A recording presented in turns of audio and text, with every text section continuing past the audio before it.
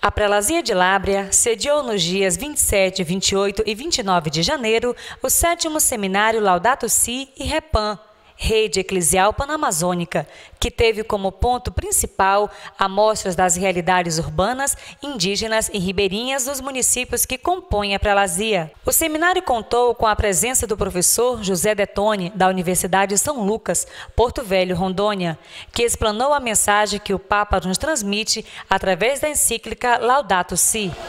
A, Laudato Si é, se tornou um livro até bastante volumoso, mas até no título ele já dá o conteúdo. Laudato Si é, é um italiano da, da Idade Média que significa louvado sejas. É o começo de um canto de São Francisco a Deus. Portanto, o livro já diz que nós, como humanidade, devemos olhar para Deus e louvá-lo pela natureza, pela criação. E o subtítulo do livro é Cuidado pela Casa Comum. Qual é a casa comum? Nós temos duas casas, uma nossa onde nós moramos, onde nós pisamos, onde nós almoçamos, etc. E a outra é a de todos, que é a Terra, que é o globo terrestre. Então, casa comum é a casa de todos nós. Assim como somos responsáveis pela nossa casa, pela limpeza, pelo cuidado, pela defesa dela, nós também somos responsáveis pela casa de todos.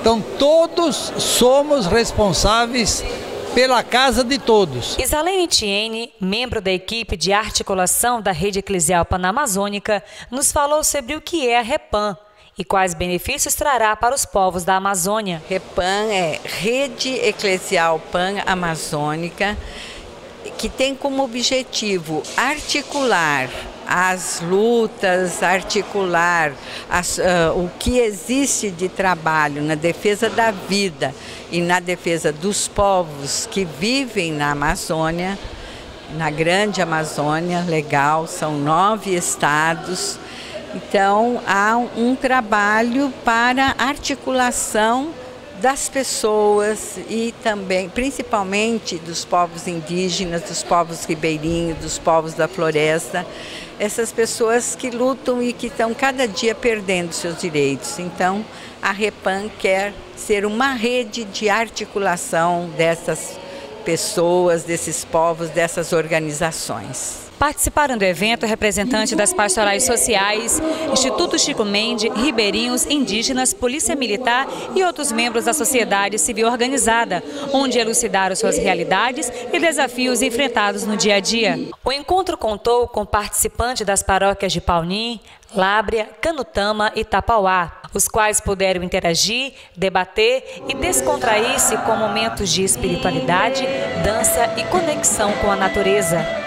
Márcia Oliveira, socióloga da Universidade Federal de Rondônia, que tem um trabalho voltado para as migrações, fronteiras e outras questões relacionadas à Amazônia, falou da oportunidade que o seminário traz em debater as problemáticas expostas pelos participantes. Um momento bastante oportuno para nós refletirmos os nossos problemas para nós também trocarmos experiências sobre o que está sendo feito para melhorar a nossa vida, para articular, para nos mobilizarmos enquanto comunidades, grupos, instituições nas localidades onde nós estamos inseridos. E, ao mesmo tempo, uma oportunidade importante para pensarmos juntos as possibilidades de intervenção ou de provocação do Estado, dos governos locais, da própria igreja, para darmos pistas, para estarmos juntos construindo pistas de atuação das instituições, ao mesmo tempo nós também, como base, como comunidade, como é que nós vamos traçando então a caminhada, os projetos de comunidade, os projetos institucionais. Foram realizados trabalhos em grupos nos quais foram apresentadas propostas de ação e intervenção nas realidades das paróquias. O comandante da 4 Companhia superintendente da Polícia Militar de Lábrea, Tenente Laurênio Silva, falou da importância de se trazer um evento como este para o município. A gente adquire conhecimento, vê a dificuldade que está acontecendo na região do Amazônia, né? É, principalmente aqui na Caia do Puruja, onde vocês trouxeram pessoas é, capacitadas né, para transmitir esse conhecimento, é onde a gente vai é, assimilar esse conhecimento e tentar, em cima desse conhecimento, fazer uns projetos voltados para a segurança pública. Está bem aqui no município de Lábrea. O coordenador de pastoral, Orli Coco, falou da contribuição deste encontro para a caminhada eclesial da prelazia. O encontro da Repam, a partir do documento da Laudato do nosso Papa Francisco, que vem tratar da casa comum, né, o cuidado com a casa comum. A importância para nós é uma tomada de consciência de tudo aquilo que a gente vem fazendo e atos que nós cometemos, até às vezes inconsciente, né, que agride a natureza, agride o meio ambiente. Portanto, a Laudato a nível de prelazia foi um momento também de integração e de comunhão né, das nossas paróquias, dos quatro municípios.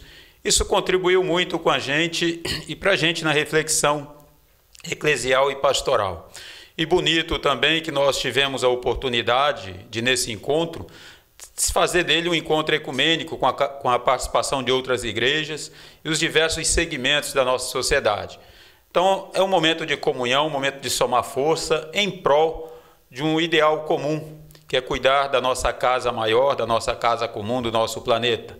A gente espera que a partir desse encontro aconteça em cada município, em cada paróquia, ações concretas né, que visem melhorar né, a qualidade de vida, visem melhorar o meio ambiente.